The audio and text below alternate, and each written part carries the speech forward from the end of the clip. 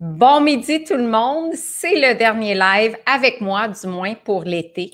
Euh, la semaine prochaine, on a toujours notre chef Mélanie qu'on adore. Elle va faire des recettes avec les assaisonnements qui sont derrière moi, sans sodium. Je sais pas si vous les connaissez, mais ils sont vraiment bons. Puis mon invité les adore aussi, entre autres celui pour les légumes tellement bon. On peut en mettre partout dans les salades et tout ça. Euh, j'en ai aussi pour le barbecue. Fait que Mélanie va vous parler des assaisonnements, comment les intégrer dans des recettes festives et santé. Ça, ça termine notre saison. Puis après ça, ben, on va vous revenir en septembre. Et en septembre, j'ai déjà une liste d'invités. Vous allez capoter. J'ai des que des PhD. Et euh, d'ici et d'ailleurs, j'ai des, même des invités de France. En tout cas, ça va être débile. Soyez au rendez-vous. On recommence le 8 septembre. Et euh, ben, pour l'été, on fait, on fait relâche, mais on travaille quand même. Mais en tout cas, on va vous tenir au courant si jamais on fait une petite surprise dans l'été avec un petit live improvisé comme ça. Aujourd'hui, et c'est un sujet que je lui ai demandé parce que en 28 ans de clinique. J'ai fait 28 ans euh, de clinique privée. J'en fais plus. Si vous voulez me voir, j'ai une super équipe. Moi, je fais plus de consultation. J'ai arrêté l'année dernière. Euh, mais euh, j'ai vu beaucoup, beaucoup de gens à perte de poids. J'ai vu beaucoup de gens aussi qui avaient des difficultés au niveau du maintien du poids. Donc, après une perte de poids de 50 livres, 70 livres, 100 livres, qu'est-ce qu'ils font ces gens-là qui maintiennent leur poids? Et est-ce que c'est vrai? Que 95% des gens qui perdent du poids le reprennent. Et je veux en parler avec mon invité, puis j'en discutais juste avant le live avec un pro de la perte de poids aussi, Maurice Larocque, qui fera partie des invités de l'automne. Et euh, il y avait son opinion là-dessus, puis j'ai hâte d'avoir l'opinion de mon invité, qui est docteur en physiologie de l'exercice. C'est la deuxième fois qu'il vient nous voir. Il été tellement populaire que j'ai dit je vais le réinviter absolument. Euh, c'est un professionnel donc de l'activité physique, un spécialiste de l'obésité, contrôle du poids, c'est un coach. Euh, il parle beaucoup de motivation, il considère vraiment tous les aspects dans la perte de poids. On va parler de, gestion de, stress aussi, on va parler d'équilibre de vie. Euh, c'est un grand communicateur, il était porte-parole de la Fédération des kinésiologues du Québec c'est un maître nageur, c'est un grand sportif. On peut le voir sur Facebook. Il publie ses photos des sports qu'il fait avec les belles assiettes puis ses petites gâteries aussi, parce qu'il y a des petites gâteries dans ses menus de temps en temps, puis c'est bien correct aussi. Je veux juste voir qui est là déjà. Ginette, Julie, qui est fidèle au rendez-vous. Hélène, Guy, hey, c'est le fun, Francine. Euh, Sandra, hey Sandra, quel plaisir de te lire. Bon, ben c'est super. Alors, euh, je l'invite à se joindre à moi. C'est Paul Boisvert, docteur en kinésiologie, physiologie de l'exercice, un expert de la perte de poids et du maintien. Et merci d'être avec nous. Bonjour Isabelle. Allô, on t'a tellement aimé qu'on te réinvite. Écoute, les gens ont tellement aimé ta dernière participation. Ça fait à peu près, euh, je sais pas, six, sept semaines, tu es venu nous voir. Et ouais, puis là aujourd'hui. Physique et le poids, c'est. Euh, c'est important, hein, la, partie activité physique. On voulait savoir jusqu'à quel point l'activité physique pouvait, contribuer à la perte de poids. Maintenant, on veut parler du maintien du poids après avoir perdu beaucoup de poids. Bon, ben d'abord la stat, là. La statistique du 95 là, qui reprennent le poids. C'est-tu vrai, c'est-tu pas vrai? Je veux t'entendre là-dessus. Alors, la première, c'est la première étude scientifique qui a été publiée sur cette, euh, sur cette statistique-là. Ça vient du docteur Stockard, euh, un Britannique, qui, a hum. publié cette étude-là en 1959. Oui, c'est ça, je pensais. Donc, Ça fait longtemps que ça roule, cette statistique, cette statistique-là. Oui. L'ensemble des autres études qui ont, qui ont prévalu par après vont s'entendre qu'il y a à peu près 90% des gens qui reprennent leur poids après deux à cinq ans. OK? On se laisse quand même un, bon temps là, pour euh, vérifier que les gens ont repris du poids. C'est pas en dedans de six mois. Il faut, le, il faut, le, il faut savoir qu'il y a juste 5% ou 10% en moyenne. Puis les plus optimistes dans leurs études, c'est qu'ils ont trouvé qu'avec 75 à 80% des gens qui reprenaient leur poids au bout de deux ans et de cinq ans. C'est ce que j'ai lu aussi. Donc, qu'est-ce qu'ils font de particulier, ces 20, 25% au maximum ou 10% de gens qui maintiennent leur poids? Il y a un grand registre américain qui euh, suit 10 000 personnes. Ça a été lancé, ce registre-là, en 1994 par deux chercheurs de l'Université de Colorado. On suit des gens qui ont perdu 50 livres et plus et qui le maintiennent. Et ces gens-là, ben, il y, a des caractéristiques communes, entre autres, euh, l'activité physique, tu vas revenir là-dessus. Euh, entre autres, on se pèse, on se pèse pas, une alimentation qui est plutôt faible en gras. Donc, on a des cas sur lesquels on peut s'attarder pour documenter qu'est-ce qui est le plus efficace. Et là, je veux juste euh, te dire qu'il y a des gens qui te saluent. Il y a Roberto, maître nageur aussi, qui dit bonjour, il est fidèle au poste, il manque pas un live. Alors, il te salue, un grand sportif aussi. Et euh, Chantal nous dit c'est décourageant ces données-là. Ça peut être décourageant, mais regardez pourquoi vous ne seriez pas dans le 20% qui réussissent? Et Paul va vous donner ses meilleurs trucs pour ça. Alors, ben, la première chose qui arrive quand les gens ont perdu leur poids, tu sais, ça a pris six mois, ça a pris un an, des fois ça a pris deux ans. Ils ont fait beaucoup d'efforts, ils sont dans, ils sont dans l'inhibition, ils sont dans le contrôle de, de l'alimentation, ils essaient de faire un peu plus d'activité physique. Mais durant cette période-là, est-ce qu'ils ont changé leurs habitudes de vie? Mm-hmm. Est-ce que c'est intégré dans leur mode de vie? Est-ce que ça va être un mode de vie qu'ils vont pouvoir maintenir à long terme? Hmm. Il faut que ça soit ancré dans les habitudes de vie. Mais si, si tu fais des changements pendant un an, c'est pas suffisant de ce que tu me dis pour justement que ça soit ancré dans tes habitudes. Moi, j'ai vu des. Euh, moi, je, moi, je m'adresse aux maniaco-dépressifs des régimes. OK. Il y en a beaucoup. Il y en a qui m'écrivent, oh, c'est décourageant. Moi, je trouve ça difficile. Parle-moi des maniaco-dépressifs des régimes. Vas-y. Ben, j'en ai eu des, j'en ai eu des, des, des clientes comme ça, des maniaco-dépressifs du régime. Eux autres, ils fonctionnent par le tout ou rien. Quand ils s'engagent dans quelque chose, là, ça y va par là, ils suivent les consignes, puis c'est des machines. Ils sont vraiment impressionnants. Mais tu sais Pourquoi que, tu accordes au féminin? Est-ce que les femmes. Ah, ben, mon expérience, c'est plus mes. Euh, c'est plus mes, les, les, euh, mes, mes, clientes qui ont fait ça. OK. Mes gars, eux autres, tu leur dis, ils disent, dis-moi quoi faire, puis je vais le faire. Mais il n'y a pas trop d'émotion, tu sais. Les femmes, c'est plus, il y, a, il y a plus un engagement émotionnel. Fait que j'ai des clientes qui, eux autres, là, j'avais juste à les laisser aller. Fait que il a fallu que je prenne trois mois avant la fin pour les préparer à, à, faire de la désinhibition sans perdre le contrôle, sans dire moi j'arrête tout puis je reviens comme avant. Pourquoi qu'on est beaucoup dans le tout ou rien, justement, les pensées dichotomiques, je fais attention, je fais plus attention. Pourquoi qu'on est, on n'est pas capable de jouer dans des zones grises? On est dans des régimes, tu sais, la publicité, tu connais très bien c'est des, des régimes à, perte de poids rapide, puis ça sera, ça sera pas trop, trop difficile, puis tu sais, on va se débarrasser. Voilà. Alors, que, alors que, que de faire ces, ces efforts-là, c'est aussi d'essayer de perdre du poids de façon progressive, plus lentement, et de faire en sorte qu'on puisse changer nos habitudes de vie à ce moment, au même moment. Ça comprend aussi, c'est la même chose pour l'activité physique il faut que l'activité physique soit plaisante. Dire, OK, je vais le faire, ma, je vais le faire ma demi-heure ou mon trois quarts d'heure de marche par jour, mais j'aime pas ça. Ben oui.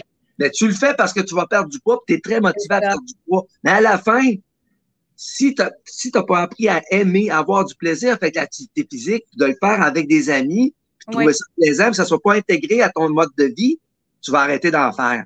Ah oui, je suis tellement d'accord avec toi. José Lavigueur euh, nous dit toujours la même chose. Beau commentaire de Véronique. Elle est dans le 20% depuis plus de deux ans. Je compte bien y rester. Changement dans les habitudes de vie. Moi, je pense que ça doit venir de toi, volonté intrinsèque. Et c'est drôle, Maurice Larocque, docteur Larocque me parlait de ça aussi, de cette volonté-là. Je parle dans deux minutes aussi. Bon!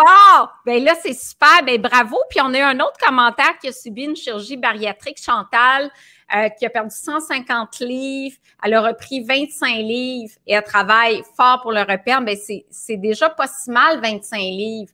Euh, de, tu si on peut stabiliser et rester avec une perte totale de 125 livres, ça reste quand même, somme toute, très bien. Là, je veux que tu y ailles vraiment, Paul, avec tes cinq trucs euh, euh, pour maintenir son poids. Vas-y avec ton premier truc. Le premier truc, le premier, la première chose qu'il faut faire quand on a terminé notre régime, qu'on est satisfait, qu'on a atteint notre, notre objectif mm-hmm. final après six mois, un an, c'est de dire, écoute, là, il faut, faut quand même que je continue à surveiller mon poids. OK? Et moi, ce que je donne, c'est un, un écart maximal de 5 livres. Mm-hmm. Alors, en fait, même que je vais essayer d'aller chercher, même si l'objectif, par exemple, c'est un, pour moi, par exemple, un indice de masse corporelle de 25, ça serait 175 livres. OK? Je vais descendre jusqu'à 170. Oui. 5 livres de plus. Et là, je dis, je ne, je m'engage à ne pas remonter en haut de 175. Mais durant ce temps-là, si j'ai 5 livres, là, je peux faire faire moins attention. Puis, mais l'important, c'est de prendre son poids régulièrement. À quelle fréquence? Parce que moi, j'aime beaucoup euh, ton 5 livres. Moi, je trouve que c'est normal que le poids varie de plus ou moins à 3, 4 livres, surtout chez les femmes. Il faut pas s'en faire avec ça. Mais de se dire, ben, regarde, moi, mon jeu, c'est 5 livres. J'ai souvent travaillé avec mes clientes, mes clients de cette façon-là aussi. On parle de régulièrement. Est-ce qu'on parle aux deux semaines? Est-ce qu'on parle au mois ou chaque semaine? OK. Ben, c'est super intéressant. Puis moi aussi, je me pose la question le registre américain fait en sorte que 75% le font une fois par semaine. Mm-hmm. Mais tu sais, une fois par semaine, c'est de la super vigilance, là. C'est mm-hmm. presque comme moi, je, je préconise lors de la, la, perte de poids. Je dis aux gens une à deux fois par semaine max. Mais suivi, là, c'est comme, tu sais, tu laisses aller, puis tu prends une livre ou deux. Mais là, tu sais, c'est que faut, il faut que tu la détectes, la prise d'une livre ou deux. Mais ça, une livre ou deux, tu vas la prendre sur deux, trois semaines, un mois, un mois et demi, deux mois. Moi, je me dis, une à deux fois par mois, c'est suffisant. Moi aussi, je recommandais une fois par mois pour pas développer de l'obsession. C'est rare qu'on va prendre 10 livres dans un mois, à moins d'avoir des troubles. Moi, j'étais spécialisée en compulsion alimentaire. C'est sûr que si on a des crises de boulimie, des parphagies, on peut, on peut prendre 7 livres dans une semaine. C'est fou, les crises de boulimie. Mais sinon, si on a une relation, somme toute, qui est correcte avec les aliments, on peut prendre cinq livres dans un mois, mais c'est rare qu'on va prendre à moins d'être en vacances puis euh, d'être dans un buffet euh, pendant un mois. C'est, rare qu'on va prendre plus que ça. C'est ça. Fait que, en fait, il faut pouvoir détecter la prise de poids de trois livres avec lequel il y a un petit code jaune qui s'allume. Ouais. Et quand il y a cinq livres, là, il y a un code rouge qui s'allume. Parce que là, il faut il faut revenir en mode, en mode régime un petit peu pour perdre un livre ou deux pour jamais dépasser le 5. Fait que là, c'est on est à, on est, on est à 5, ben là, on n'a plus de marge de manœuvre. Là, là, là, là, il va falloir le refaire à toutes les, à toutes les semaines, puis être vraiment plus vigilant. Donc, tant, tant qu'on est dans on est à une à deux livres, ben, on fait juste le suivi. OK. Un, pas de tout ou rien. Deux, se donner un jeu de cinq livres avec une pesée mensuelle, puis de rajuster le tir si jamais on est au-delà de ça. Et s'engager à ne jamais dépasser cinq livres. S'engager. Comment qu'on fait ça, s'engager? Ben écoute, tu peux l'écrire, tu peux, tu peux écrire une phrase, dire je m'engage à ne jamais dépasser le 175 livres. Mm ou euh, ou, de le dire à, ou de le dire à ses amis ok? Oui, parce que le fait de le partager avec son conjoint, sa conjointe, de se faire même une feuille d'engagement, je m'engage à euh, rester ancré dans mes saines habitudes de vie, à faire de l'activité physique, à me donner un jeu de cinq livres et quand je le dépasse, oups, je fais un petit peu plus attention c'est le même engagement, c'est un peu le même genre d'engagement qu'on fait aussi quand, quand on entreprend un programme de perte de poids. Mm-hmm. Il faut mm-hmm. avoir son, son, son sa, sa, déclaration d'engagement de ce que tu vas de ce que tu t'engages à respecter au niveau alimentaire, activité physique, euh, au niveau psychologique, motivation. Et c'est l'analogie que j'ai, c'est le contrôle de tes finances. Hum.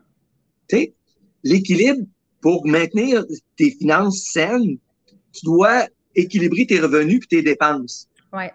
Et c'est quoi qui permet de, de, vérifier que, as, que, que, que, tu contrôles ton budget? Qu'est-ce qui te permet de vérifier? Ben, si, si, tu accumules des dettes ou autres. Tu regardes ton compte en banque de, de compte ah. courant. Voilà. Fait que lui, s'il bouge pas, c'est correct. Mais s'il si, se met à chuter, chuter, chuter, parce que tu dépenses trop. Mm-hmm. C'est un peu la même chose. Alors, la balance, c'est notre compte courant de notre poids. Tu n'avais pas un petit graphique à me montrer? Ah, ben ça, c'est ça, c'est le prochain. OK, vas-y, le prochain. Au numéro 2. Oui. Au numéro 2, le registre, il faut faire plus d'activité physique. OK? Alors, si pour perdre du poids, l'activité physique est préférable parce que c'est ce qui est le plus c'est ce qui est le plus efficace avec le régime, mais n'est pas obligatoire. Voilà. Pour éviter de reprendre du poids ou pour contrôler le poids, éviter de prendre du poids, l'activité physique, là, elle est essentielle. Voilà. Et le registre américain, notre registre américain scientifique, a démontré que ces gens-là en font pas 30 minutes, pas 45. Ils en font en moyenne 60 minutes par jour. Est-ce que 150-300 euh, minutes par semaine? Euh, ben, par, jour, par semaine, oui, 300 minutes par, 60 euh, minutes par jour, 60, 300 minutes par semaine. Évidemment, moi, je dis toujours à mes clients, ah, tu sais que qu'ils sont motivés et qu'ils veulent faire beaucoup d'activité physique, moi, regarde, tant que tu vas maintenir 150 minutes par semaine, 30 minutes par jour, 5 jours par semaine, ça, c'est le minimum, minimum, minimum. Mm-hmm. et, quelle est l'activité physique que les gens euh, font le plus pour maintenir leur poids? La marche. La marche. Alors, de la marche rapide, c'est deux pas secondes, c'est 4, 4 à 5 km à l'heure. Tu peux en faire deux fois 30 minutes. C'est au moins 30, puis tu en fais plus le week-end parce que tu as plus de temps. Et, et c'est là que je, c'est là que je vais te montrer mon graphique. On le regarde, on le regarde. Et, je, vais pas, je vais te parler de contrôle intrinsèque. Oui, justement, qui est un commentaire. Bon, équilibre, on le voit bien, la zone de prise de poids, le contrôle intrinsèque du poids corporel, puis le contrôle extrinsèque cognitif du poids corporel. Explique-nous ça. Alors, je pourrais même euh, disparaître un peu pour te mettre en, gros plan. Moi, tu ne m'entendras pas, mais je te laisse la. Alors, alors ce que j'ai sur ce graphique-là, c'est que si si on, se fie seulement à l'alimentation, il y a trop de, pression au niveau de la publicité, au niveau des tentations, au niveau de la désinhibition pour reprendre le poids lorsque lorsque l'activité physique est faible. Et que donc l'apport l'apport alimentaire va tendance à être beaucoup plus élevé et, là, on, est, on se retrouve dans la zone de, prise de poids.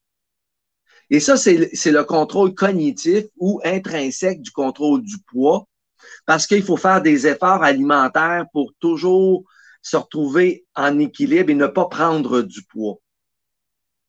Par contre, si on fait, si on fait plus d'activité physique, à un moment donné, dépasser, par exemple, le 150, le 150 minutes, on va se retrouver dans un contrôle qui est plus instinctif et ou, intrinsèque du contrôle du poids. Et ça va être beaucoup plus facile de d'avoir d'être en équilibre entre la part et la dépense énergétique. Donc, quand on a, quand on dépense, euh, quand on dépense 300 minutes d'activité physique par, semaine, à peu près 60 minutes. Ça, c'est comme les athlètes, c'est comme les, c'est comme les sportifs que, dont je suis. Moi, je fais 60 minutes d'activité physique par jour, 5 jours par semaine. J'ai pas de problème alimentaire pour maintenir mon poids parce que, parce que, parce que le, contrôle au niveau du cerveau de, l'équilibre énergétique. Donc, on parle de, l'équilibre énergétique ici. L'équilibre énergétique se fait plus, se fait mieux lorsque l'activité physique est plus élevée par rapport et que à ce moment-là, l'apport énergétique est équivalent à, euh, à la dépense énergétique. Mm-hmm. Très intéressant. Euh, le 60 minutes par jour versus le 300, est-ce que ça veut dire qu'on peut prendre deux journées de congé? Parce que où on fait vraiment 7 jours sur 7, 60 minutes? 5 jours, 5, jours, 5 jours, 60 minutes. De toute façon, il faut toujours avoir au moins une journée de, une journée de, récupération. Puis, récupération. Donc, euh, c'est ça. Pour faire le 300, 60 fois 5, c'est parfait. Puis j'aime l'idée aussi, j'ai beaucoup aimé ton, ton graphique, mais j'aime l'idée de la marche aussi parce que c'est accessible à tout le monde. Les gens qui disent ah, ça coûte cher, je veux pas au gym, c'est pas nécessaire. Euh, regarde, Véronique nous dit tu fais des choix pour toi, tu dois te centrer sur ta volonté. Moi, je cuisine pour ma famille de six, je mange les mêmes repas, j'accompagne de fruits et de légumes, c'est parfait. Euh, Roberto, l'engagement est très utile, surtout pour, sous formulation. Donc, si je dépasse cinq livres, je reviendrai pour une semaine à faire attention. If then. Ouais, ouais, tout à fait. Donc, euh, voilà, on revient, on fait un petit peu plus attention. Mère-Josée Roy, c'est tellement un engagement qu'on doit faire envers soi-même pour le reste de notre vie. C'est très bon. Je vais vous le mettre ici. Effectivement, on s'engage pour le, pour le reste de sa vie. Euh, Thérèse nous dit, moi, je me paye seulement une fois semaine, c'est parfait. Une fois semaine en perte de poids, une fois par mois en maintien. Euh, ah, ça, c'est un bon commentaire. Dis-moi qu'est-ce que tu en penses? Y a-t-il un truc pour garder notre poids lorsque notre conjoint ne fait pas du tout attention? Moi, je suis tannée de me battre à faire des repas différents. Écoute, c'est tellement un bon point, Lorraine. On veut faire attention. Le chum, il sort les chips, la liqueur, les biscuits. Puis j'en ai eu des clientes comme ça. Le chum, il dit, c'est ta démarche. Moi, je veux rien savoir. laisse-moi manger ce que je, veux manger. Là, tu as plein de tentations devant toi. Le chum sort les chips tous les soirs. Et qu'est-ce que tu fais? C'est tellement important le, soutien du conjoint ou de la conjointe. Mais c'est. Euh, puis, j'ai justement une cliente qui se retrouve un peu dans cette, euh, dans cette problématique-là. Et euh, en fait, c'est d'éduquer le, conjoint et la conjointe à, notre démarche, puis l'amener peut-être tranquillement à, à, réduire aussi ses portions, puis à, goûter des, euh, des, plats qui sont plus santé. Euh.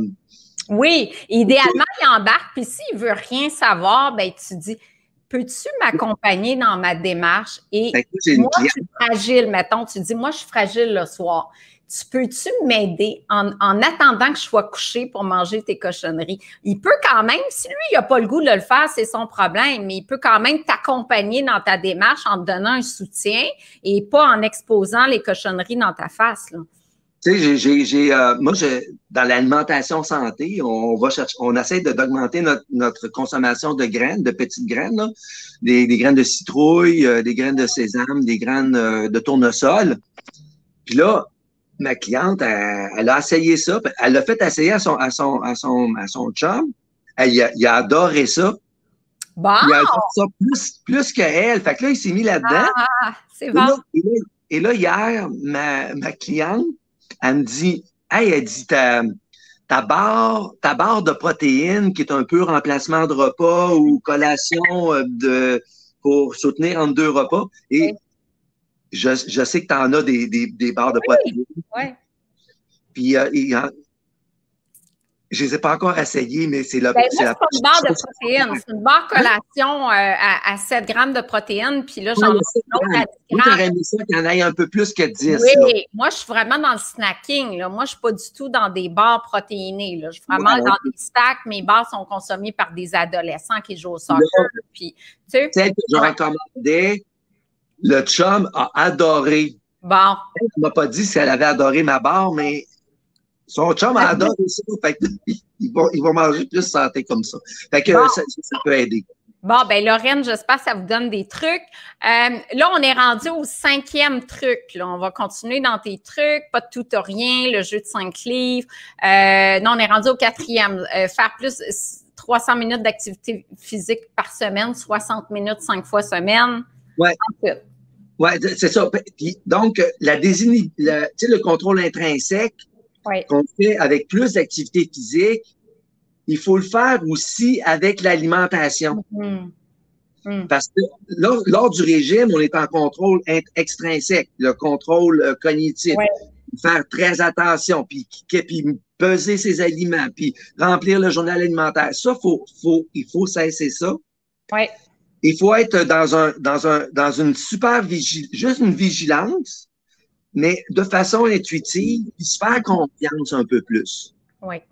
Oui, parce que moi, le problème que je vois souvent chez des gens, surtout que j'ai suivi longtemps, qui sont dans des règles, dans des calculs, dans du peser, mesurer, Là, il faut décrocher, mais ils n'ont plus confiance. Ils n'ont pas, est-ce que je vais reprendre mon poids si je pèse plus mes affaires, si je calcule plus, si je tiens plus mon journal? Fait que tranquillement, parce qu'il y en a que c'est bien ancré, là, peser, puis tu sais, pourtant, je recommande rarement ça, de peser des trucs. Ben là, on dit, regarde, on va donner du lousse. À chaque semaine, on rajoute du lousse. Puis on essaie de se faire confiance. Puis au fil des semaines, on a, oh mon Dieu, je pèse plus mes affaires, j'écris plus mon journal, je suis correct. Puis souvent, ce que j'ai vu, c'est un manque de diversité. Puis je l'ai vu euh, dans beaucoup de cas où justement, ils mangent toujours la même affaire. Ils savent que quand je mange ça, j'engraisse pas. Donc, ça, c'est correct, mais là, explorer ailleurs, c'est très, très difficile euh, pour eux. Explorer veut dire, oh, je vais-tu gagner du poids si je mange des pâtes un soir, si je me permets du riz ou une viande plus grasse, là? Oui, eh bien, exactement. Donc, quand on a terminé le régime, le, suivi professionnel de coaching continue pendant un certain temps.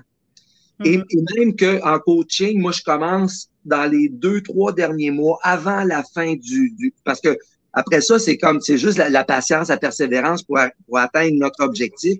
Mais je commence déjà à les préparer à, à, prendre conscience, de confiance, puis d'y aller. Puis cette phase-là, après, il faut y aller progressivement. La désinhibition sans perdre le contrôle. Tu sais, les maniaco-dépressifs, là, eux autres, là, faut les, faut les voir venir parce que eux autres, ils vont, ça va être tout. Là, ils vont, ils vont paniquer parce que ils sont plus outillés. Fait que là, il faut revenir sur l'éducation alimentaire, sur euh, de combien de calories on va pouvoir remonter, puis on, tu sais, le, plus, le moins 500 qu'on avait, on le rajoute, mais on le rajoute comment?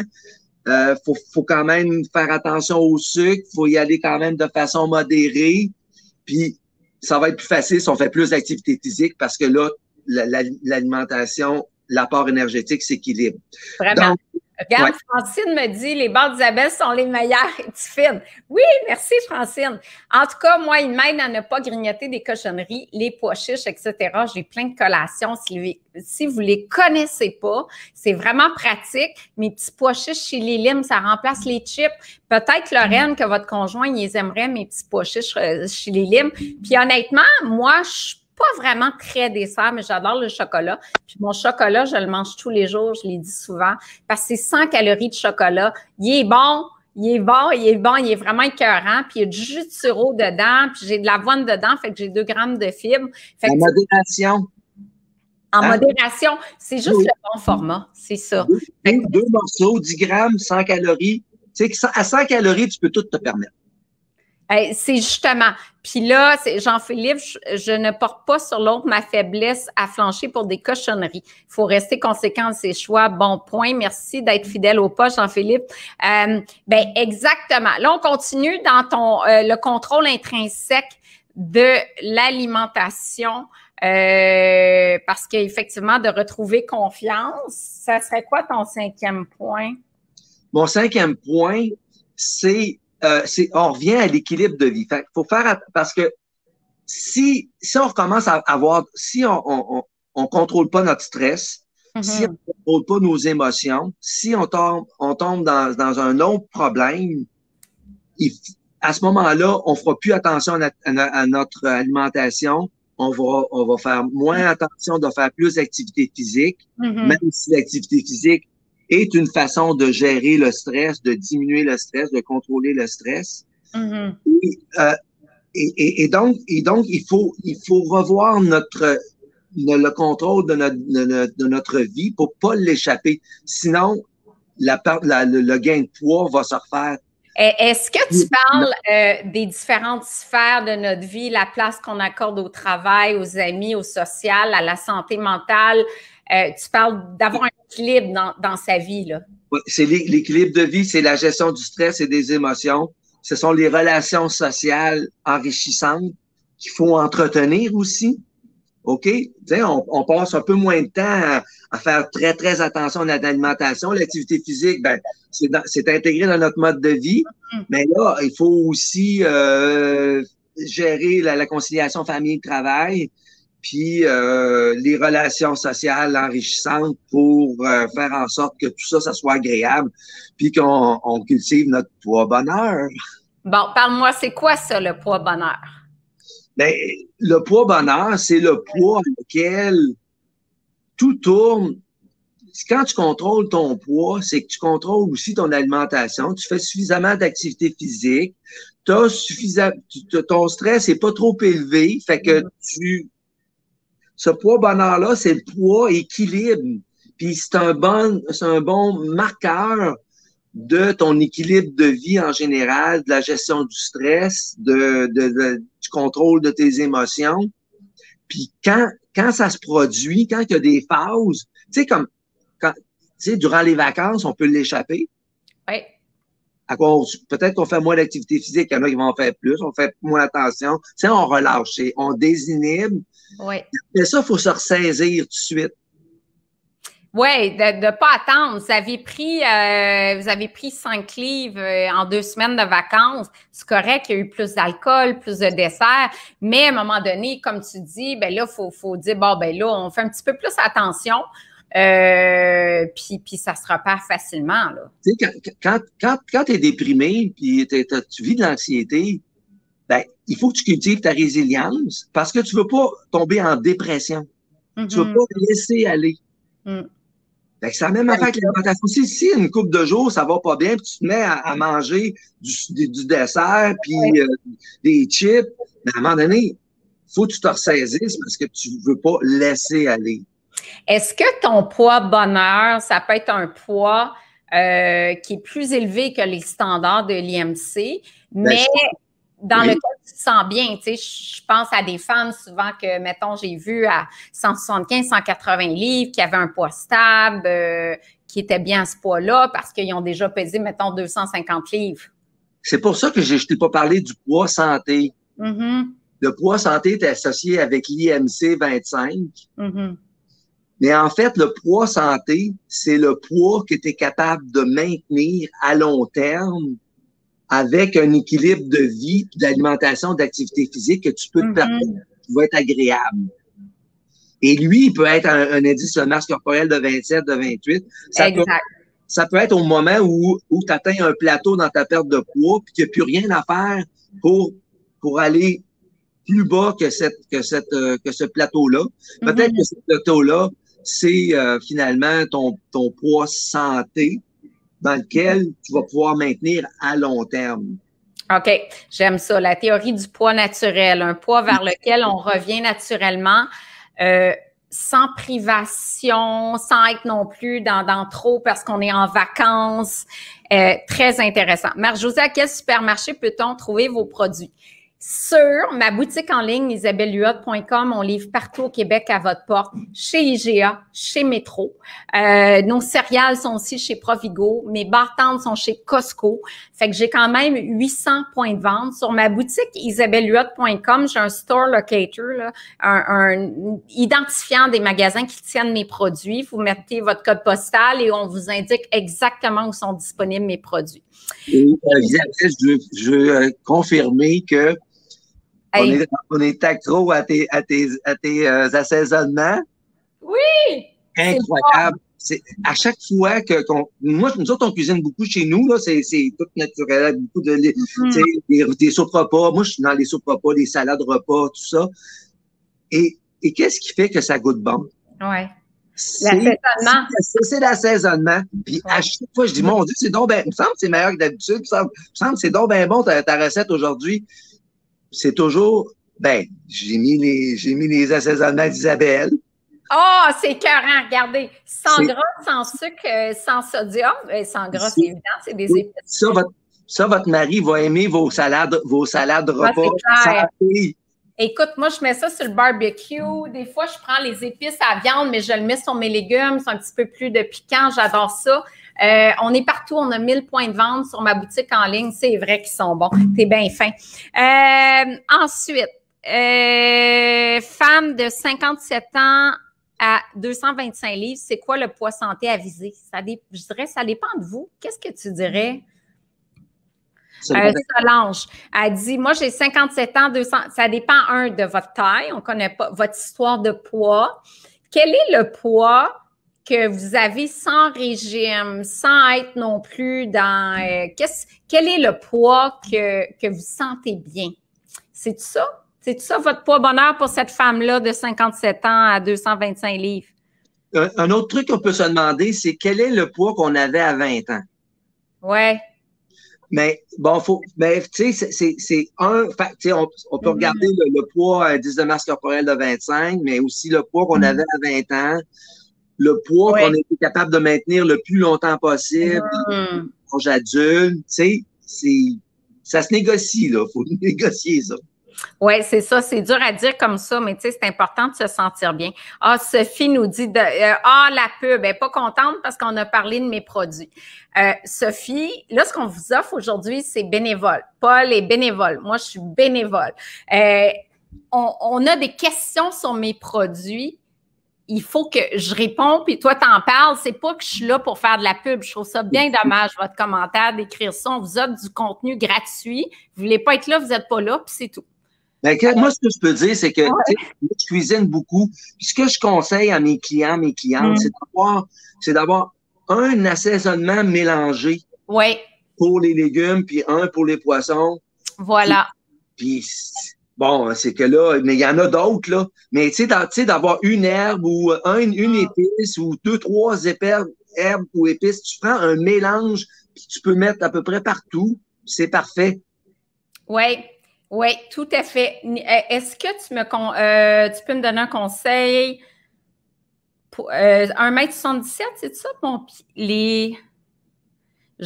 Ah, je pesais avant 125 livres, oui. Tu sais, viser un poids, tu sais, qu'on parle d'avoir un objectif de poids réaliste, là, euh, de viser un poids euh, qu'on avait à 20 ans. Tu sais, j'ai donc vu ça chez mes clients. Ah, ben moi, je veux peser 120 livres. Je pesais ça à 15-16 ans.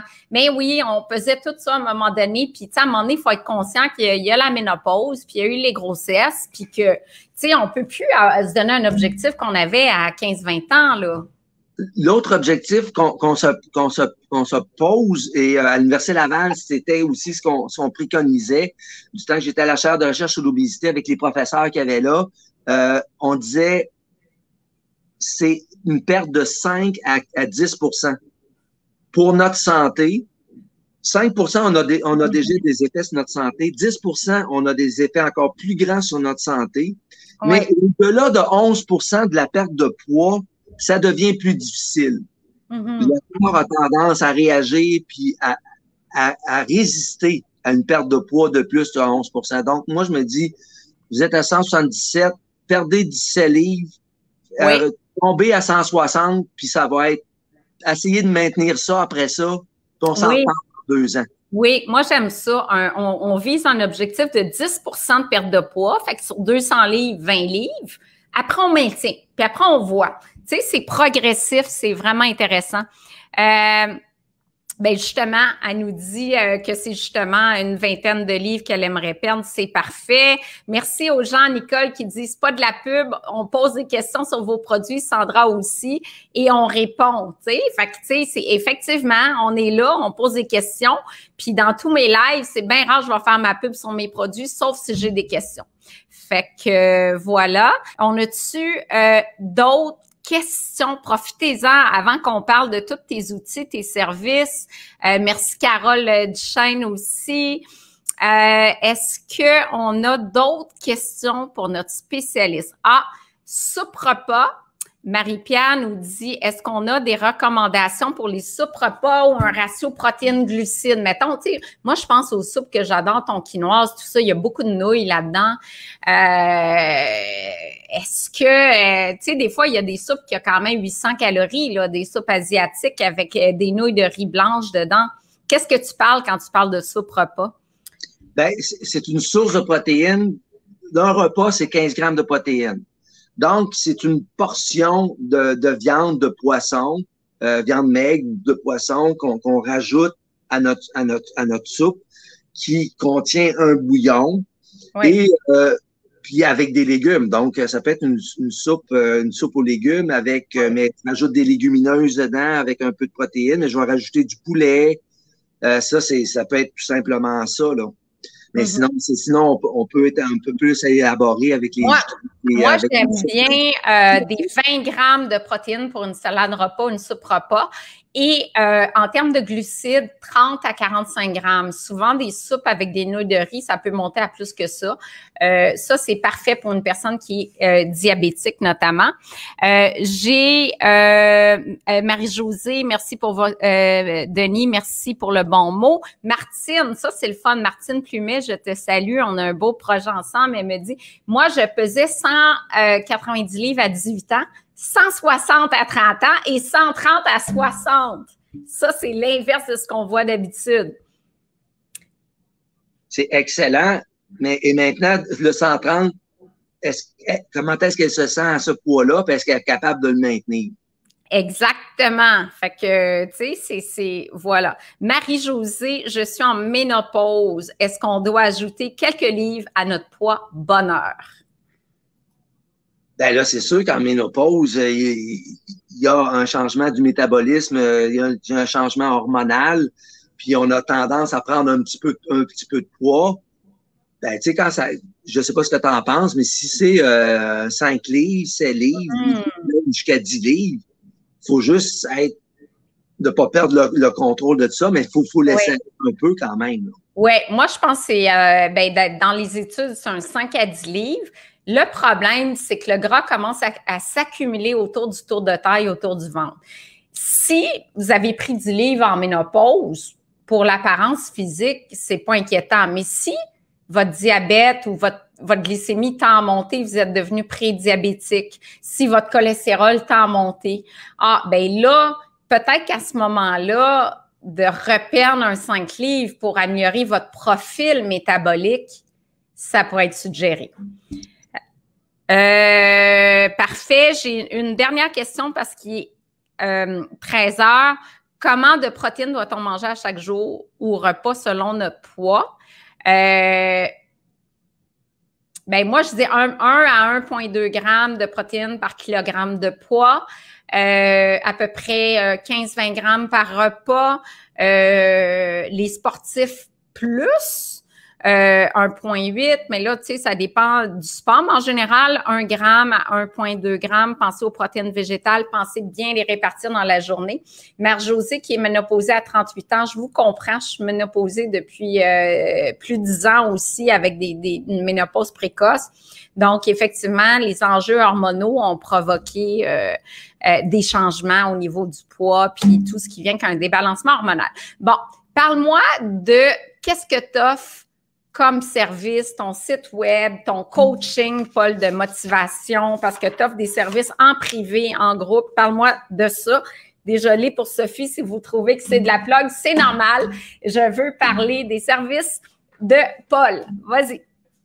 Alors, alors, je suis un, coach minceur, donc je fais des programmes de perte de poids qui allient l'alimentation, l'activité physique et la motivation me considère comme un, guide accompagnateur, un guide motivateur. Et au cours des, des même si ma, triade de poids, alimentation et activité physique, c'est mon expertise, euh, je considère que de, depuis, euh, depuis que je fais du coaching pri, en privé, depuis que j'ai quitté l'Université Laval en 2013, que 40% de mon intervention se situe au niveau psychologique, au niveau de l'équilibre de vie, au niveau motivation, au niveau euh, du contrôle des émotions aussi, pour être sûr qu'on puisse être suivre le, programme de façon euh, rigoureuse. Comment, on fait, Paul, pour te rejoindre? Ton site Internet? Coach Santé. Okay. Coachsanté.ca. Et puis, je fais des programmes de, je fais des programmes d'entraînement aussi, à la maison ou à l'extérieur, euh, en complément. Est-ce que c'est bon ça? Coach.santé.ca. C'est exactement. Vous allez là, vous communiquez avec moi, puis là, je vous envoie euh, euh, les, ma façon de procéder, là, de, de, faire. Oui, puis tu sais, c'est vraiment une approche globale, alimentaire, psycho, motivation. Vous l'avez vu, c'est vraiment une approche euh, que j'aime personnellement. Oui, ah ben oui. Ben mon logo, mon logo, les gens sont ici dans le petit point blanc. Mm-hmm. Puis ils sont sur la plateforme d'équilibre, ils s'en vont avec au bout de la flèche, puis moi, je les accompagne pour partir de là où ils veulent, où ils sont, là où ils veulent aller. Oui. Ah, j'adore. C'est très, très bien. C'est ça exprime tout ce que tu offres. Fait que c'est parfait. J'aime beaucoup ton approche globale, euh, ta considération de tous les facteurs, en fait, qui influencent le poids euh, globalement. Donc, euh, je pense que c'est très intéressant d'être suivi par toi, coachpoissanté.ca pour tous les détails. Et mm. euh, reste là, euh, Paul, je vais te revenir. À tous, je vous souhaite un magnifique été. Manquez pas la chronique de Mélanie, pas une chronique, mais les belles recettes de, de notre chef Mélanie. Mercredi prochain, on vous retrouve en septembre avec des invités euh, complètement wow, euh, même des invités internationaux. Soyez au rendez-vous. Et si vous n'êtes pas abonné à mon infolette, c'est vraiment sur l'infolette que vous trouvez sur mon site isabelluod.com que vous voyez tout ce qui s'en vient en termes de live, de promo, de blog, de livres. Je vais sortir un livre prochainement. Tout ça, c'est sur mon site. Abonnez-vous à mon infolette pour, euh, pour en savoir davantage. Alors, un grand, grand merci pour ton savoir, pour ton partage, pour euh, ton talent de, de, vulgarisateur. Puis à tous, euh, bon été. Bye.